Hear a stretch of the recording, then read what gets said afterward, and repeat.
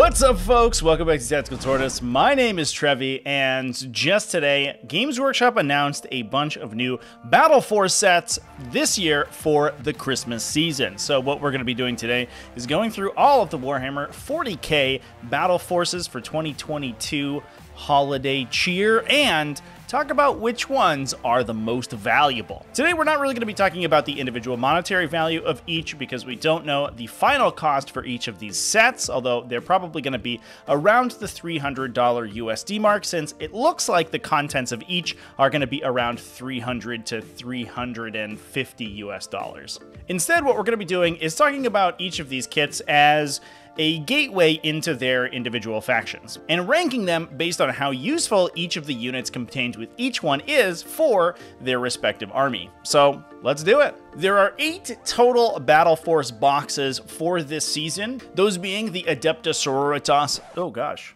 Ah, oh, I got something in my eye. Those being the Adeptus Sororitas Sanctorum Guard, the Adeptus Custodes Watchers of the Gate, the Adeptus Mechanicus Elimination Maniple, the Imperial Knights Chainbreaker Lance, the Death Guard Council of the Death Lord, Thousand Sons Court of the Crimson King, Imperial Fists Bastion Strike Force, and Raven Guard Raven Strike Battle Force. So starting with the best, let's go down the list and talk about the relative value of each of these Battle Force boxes. The first one, in my opinion, is going to be the Imperial Knights Chainbreaker Lance. This kit includes two sets of armigers, one set of Warglaives, one set of Armiger Helverins, alongside a Canis Rex kit that can create a Knight Preceptor. Now, the benefit of this particular Battle Force is that that Knight Preceptor kit actually includes all of the bits to build any of the other Knight loadouts on that chassis.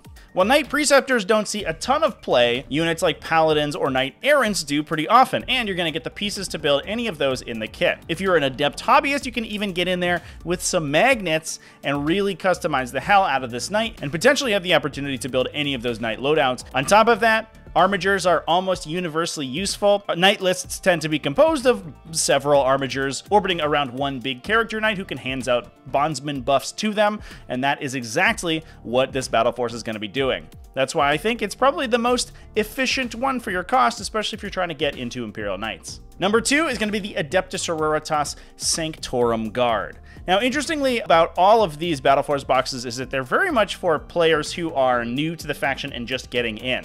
And that's evidenced by the fact that this set includes Morvenn Vahl. Morvenn Vahl is an incredible force multiplier for any Adeptus Sororitas list and can grant full rerolls to any core keyworded Sororitas unit, which thankfully includes everything in the Sanctorum Guard box. The box is composed of 10 Battle Sisters alongside two kits of three Paragon Warsuits, and five Celestian Sacrosants. While the Sacrosants are fine and can give you a little bit more protection for your characters as well as some melee punch, they don't see a ton of competitive play right now and generally get overshadowed by units like Zephyrim or Repentia. On the other hand, though, you're always going to bring Morvenn Vahl, and those 10 Battle Sisters are going to be very useful to build out your battalion detachment. One unit of Paragon Warsuits is potentially playable in a lot of different Adeptus Sororitas subfactions, and oftentimes you see one in Bloody Rose lists, so the, that are the most popular for Adeptus Sororitas right now. But if you're going to pivot a little bit and play a Valorous Heart build, which is much tankier, Paragon Warsuits are basically the core of that army. And so this Battle Force box gives you a very good intro into a style of list like that one. Even if you're just playing normal Bloody Rose stuff, you may have one extra unit of Paragon War Warsuits you can trade for something else, but everything else in the box is incredibly playable. Moving on to number three, we have the Adeptus Custodes Watchers of the Gate. This box is a little bit weird. Adeptus Custodes tend to be a very elite army and focus very heavily on not only their characters, but also their low model count, highly elite units. For that reason, it's strange that this includes three sets of custodian guards. Typically, you'll play Custodian Guardsmen in units of three, and they'll fill out a battalion detachment or a couple patrol detachments in those small units to hold backline objectives very safely with some very hard to kill objective secured troops options. For that reason, 15 in the box is a lot. However, you also get three Allarus Custodians in Terminator armor, Trajann Valoris, as well as a unit of three Virtus Praetors. Those Virtus Praetors are always useful. Trajann Valoris is basically an auto include in every Adeptus Custodes armor army, and the Allarus Custodians are good individually in singletons and can also be used to build characters like Vexillus Praetors and a Shield Captain. The same goes for the Custodian Guards. You can also build those into characters if you want to, and so getting a couple extra in this kit isn't actually too bad. That's why I think the Custodes box is at number three. It's not the most competitive thing in the world, but basically all of the inclusions in the kit are very useful and you can use them to build out more competitive options. That moves us on to the Adeptus Mechanicus Elimination Maniple. This one includes Belisarius Cawl, the special character for Adeptus Mechanicus, a set of two Kastelan robots, two units of three Kataphrons that can be assembled either as destroyers or breachers, as well as 10 Skitarii Rangers. The Skitarii Rangers are probably going to see play in all of your lists because they're just solid troops options. Kastelan robots are very useful, and Kataphrons do see some play. Especially in their breacher loadout, you don't typically see them built out as destroyers. The one loser out of this kit is Belisarius Cawl. You don't typically see him, and though Mars is a very popular Forge World to play because of its sub-faction bonuses, Belisarius, while he can be taken in that sub-faction, doesn't usually show up in those lists. That said, with everything else in the box being relatively playable, the fact that you have one looser unit in there isn't the end of the world. That is why I put it at number four, however, below the other options. And that moves us on to the next one. We're going to talk about some chaos here because number five, we have the Death Guard Council of the Death Lord. Now, this is in a little bit of a similar boat to the Adeptus Mechanicus package. This kit includes five Blight Lord Terminators as well as an awkward 14 Plague Marines. All of those infantry are absolutely great. Death Guard Terminators are pretty playable, and Plague Marines are very strong troops options. You also get Mortarion in the box, which is probably the worst unit to include. He's very expensive and a little bit slow and easy to kill in the current metagame, so he doesn't see a ton of play. Death Guard lists will typically just focus on their infantry way more heavily than the Lord of Death himself. That said, he's not terrible. He's just a little bit overcosted for his level of survivability.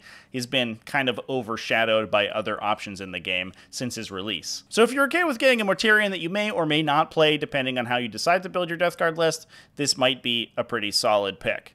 Now, that's not going to be the same thing we're going to say about the next Primarch to talk about because number six on the list is Thousand Sons. The Council of the Crimson King box is probably the, the maybe the weirdest one on this list. It includes 20 Rubric Marines, which is great. Rubric Marines are the backbone of any Thousand Sons list, and you're going to be playing 20 to 30 of them in basically any list that you play. That said, it also includes three Exalted Sorcerers, which I'm not totally sure about, as well as Magnus the Red. Magnus, unfortunately, is pretty bad, and he's kind of a big do nothing in the army. He definitely saw a big fall from grace from his 8th edition incarnation, where he was one of the strongest characters in the game. He's not totally unplayable, but generally speaking, you're going to want to stay far away from him and focus more on the Thousand Sons infantry, like the aforementioned Rubric Marines, as well as Scarab Occult Terminators. The three Exalted Sorcerers is a weird one, but I think you can make it work. If you use those to convert your two big bricks of 10 Rubric Marines into four bricks of five by using them as the aspiring sorcerers in the unit.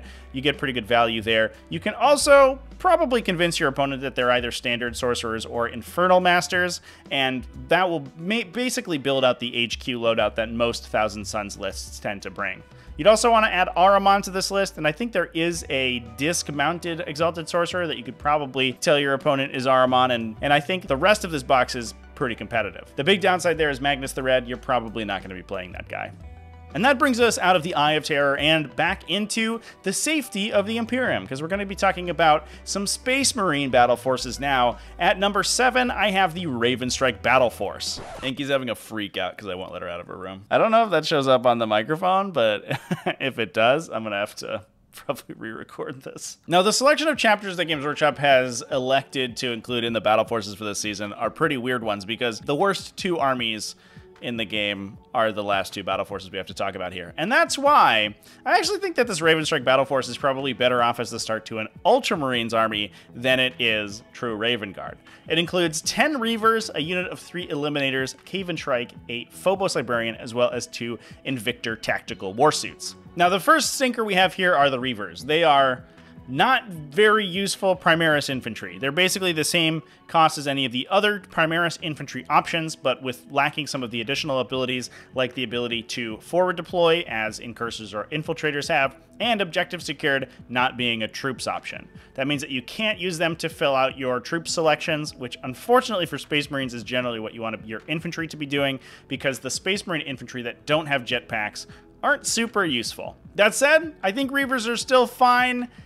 If you assemble them with their bolt carbines, replace their heads, and tell your opponent they're incursors. If we do a little bit of conversion, we can make these guys into a different unit that does fill your troop slot, and I actually think having all those Primaris bodies in your army is just going to be okay. The Eliminators are great, and the Phobos Librarian does see a lot of play. There are some really cool combos you can do with that guy, and having forward deploy on any Space Marine army is pretty useful.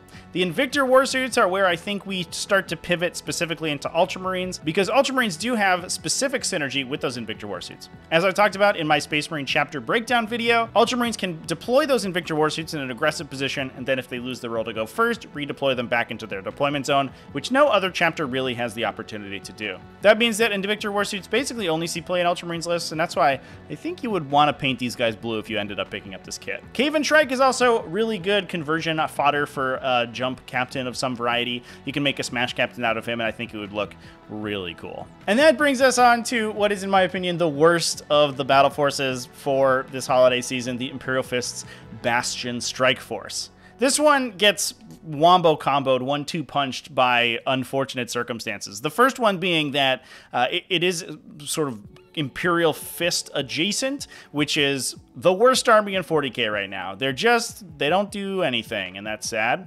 It's also filled with Gravis infantry, which tend to be pretty hit or miss. Eradicators are great, but they forgot to include Eradicators in this set. Instead, you get a pack of three Aggressors as well as a massive 15 Heavy Intercessors alongside Tor Garadon. Torgarodon is an okay character. The downside is that he is in Imperial Fist, so he can't be played in any chapters that you know you'd actually want to be playing. And unfortunately, while you can convert him into maybe a Gravis captain. Gravis captains themselves aren't particularly useful, so you don't really want to have that either.